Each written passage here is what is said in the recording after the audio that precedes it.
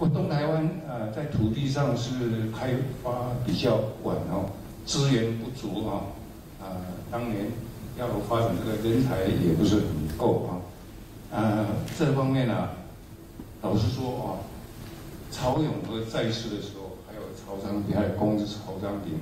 这基金会对孝老真的非常的好，他申请的案子，差不多都没有第二句话就通过了，所以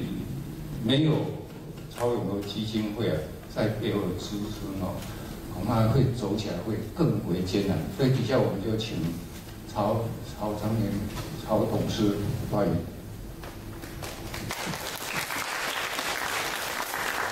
好，黄老师、师母、各位老师、各位好朋友啊，呃，首先我要先跟各位致歉，不好意思，因为那个林玉如指派这个任务给我的时候，我正在忙我儿子的婚礼，所以没有没有多联络，也没注意。我以为今天这个是中文座谈，发言三分钟，所以我也没什么准备啊。那只要有时间剩下来，然后就可以捐给这个专程从美国来的邱教授。呃，首先，那我说明一下这个曹永和基金会哈。曹永其实刚刚那个赵老师也有提到这个基金会的成那我父亲是因为他，呃，自从荣获这个院士的荣誉以后，他自己觉得他有社会责任啊，所以他就把他自己独资捐了一千万。那我们赶在一九九九年的七月成立，是因为。从一九九九年的七月一号开始，基金会门槛升高，所以我在六月三十号送件完成，就一千万是全国性的基金会，因为那个时候是一千万两百万嘛，地方性是两百万，到了一九九九年七月一号就变成三千万全国性，那地方性的要五百万，那所以我们赶在那个六月底申请完成，就七月正式开张。那我们成立当然基金会一开始。主要也是在迎接我父亲八十大寿，那时候跟中央研究院合办这国际研讨会。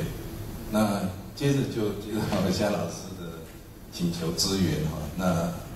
那其实我也不认识夏老师，那我我父亲非常肯定夏老师的努力，也就是他是真正我们东台湾学术界的一个一个明星，所以他就非常大力支持。那当然我们基金会成立，我们董事长是刘翠荣中央研究院副院长。那我父亲当然刚开始，他独自捐助，所以他还都会表示一些意见啊。那后来他就很尊重董事会的独立运作，那之后就完全没有表示意见。可是对东台湾研究，他有特别表示说要大力支持。所以我们从，呃，这边我有列出这个明细，就是大概从这个两千零一年开始，就几乎每年都有都有支持东台湾研究会、东台湾研究重刊呐啊。这些出版发行，那当然，其实每每一个补助案都是夏老师亲自提出，呃，申请。那当然我们只是通 email，用 email 方法，我事实上也都没有见过夏老师。嗯，那各位可以看到，哎，之前都是每年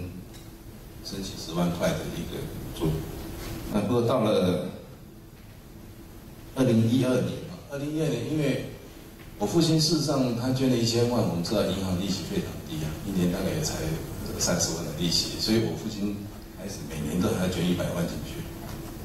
每年捐一百万。那到后来他，他觉得他身体，他自己觉得他已经九十岁了，所以九十多岁了，所以他就进一步就是把他把他手上的股票大概捐了三四千万，再再捐给基金。所以我们从这个二零一二年开始，因为我父亲又捐了将近四千万的股票，鼓励所得很多，所以我也就鼓励夏老师说可以再多申请一点。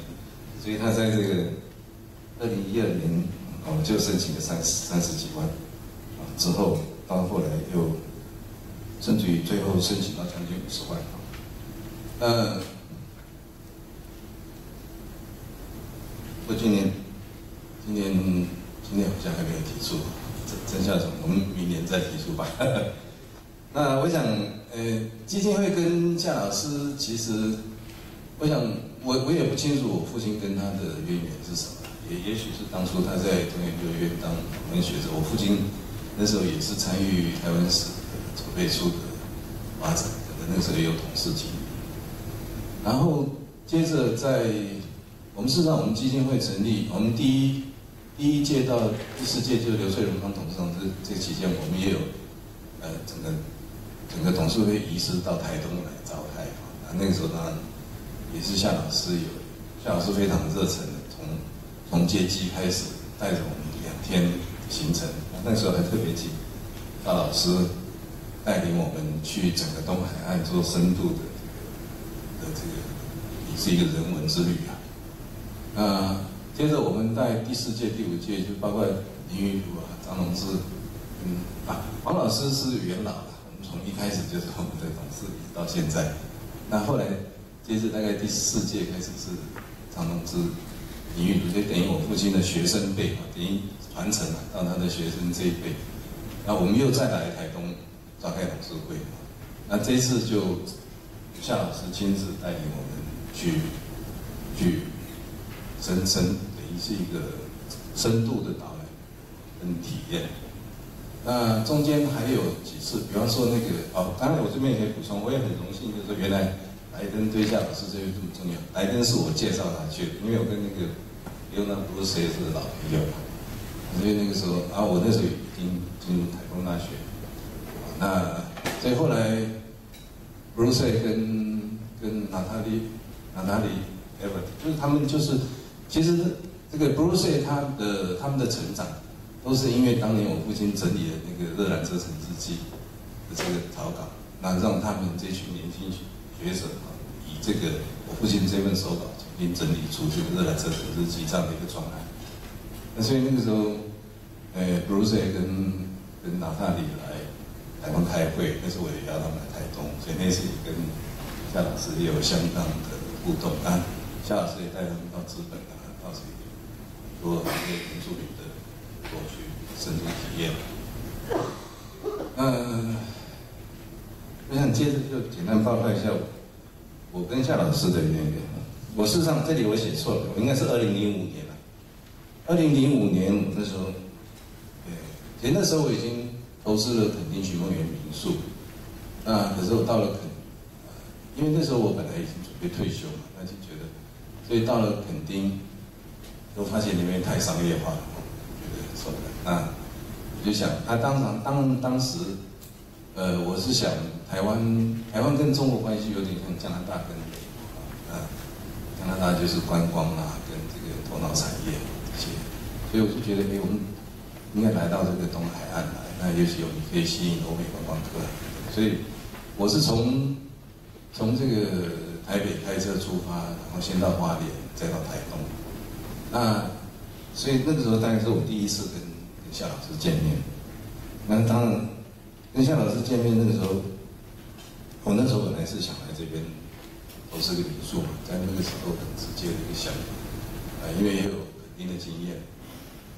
呃，夏老师那时候就跟我提起说，那我们台东有很多很多闲置的民宿里的过去深入体验。嗯。我想接着就简单报告一下我我跟夏老师的渊源啊。我事实上这里我写错了，我应该是二零零五年了。二零零五年那时候，对，其实那时候我已经投资了垦丁徐梦园民宿。那可是我到了垦，因为那时候我本来已经准备退休嘛，那就觉得，所以到了垦丁，都发现里面太商业化了，我觉得受不了。那我就想，啊，当场当当时。呃，我是想台湾，台湾跟中国关系有点像加拿大跟美国啊，加拿大就是观光啊，跟这个头脑产业这些，所以我就觉得，哎，我们应该来到这个东海岸来，那也许我们可以吸引欧美观光客。所以我是从从这个台北开车出发，然后先到花莲，再到台东。那所以那个时候大概是我第一次跟夏老师见面，那当然。跟夏老师见面那个时候，我那时候本来是想来这边投资个民宿嘛，在那个时候很直接的一个想法，啊，因为也有肯定的经验。那夏老师那时候就跟我提起说，我们台东有很多很多闲置的空间，因为台东自从交通改善以后，很多人就反而都跑到西部去了啊，尤其南回开通就更更加人口更少，所以更多闲置的这些，很多很多房子是闲置，所以他有提出一个想法，就是我们，那可是因为太平洋对欧美人士非常有吸引力，所以他就觉得我们这边可以去发展国际背包客的青年旅馆啊、国际学社啊这样的一些发展。那这里我也可以等于你跟老师可以报告，就是说我事实上。我今年七月一号有正式成立一个五楼国际背包客站，在那个成功路，啊，也等于是实现当时夏老师的一个想法吧。那这群年轻人也，哎，我都跟年轻人说，是啊，我肯定寻梦园后来也是租给一对年轻夫妇，啊，那些年轻人都很怕脸，也都支持他。那台东这边也是有一群，他们蛮有，台东事实上这这几年来很多这种新移民啊，就是他们都很有理念。啊，也很很喜欢我们台东这样的一个城市，跟没有破坏，呃，他们可以去实现的。所以有一群年轻人在那边经营这个背包客栈，国，因为他们是强调国际观光客的这种背包客栈，所以也许将来可以扩大去去进一步实现杨老师的想法。那第二个就是说，我再报告一下，分享一下我的想法。我当初从台北移民到台东啊，我台东做会面人。真的，我依赖台东。事实上，我二零零五年来台东，一直一直待到去前年年底，去年才搬到高雄去。啊，那搬去高雄主要是也是因为我太太她爱上油画，在高雄学画。要不然我也是还是，所以我这边还是总有一天还是会回来啊。那当初我从花莲到台东，那花莲因为穿过它的市中心，然后再到了，然后然后走西海线，非常。到了进入台东以后，就非常靠近海岸，而且都可以亲近海洋。但当时我我我那时候刚来台东，我事实上是在想要在这边推动那个冲浪的的一个园区，因为我那时候跟肯定也认识一个，时间那么快，把卷时间出来了，讲讲讲短一点。那 OK，。我这边都略过，我直接讲到，我是在大概应该是二零零八或二零零九，就是参加夏老师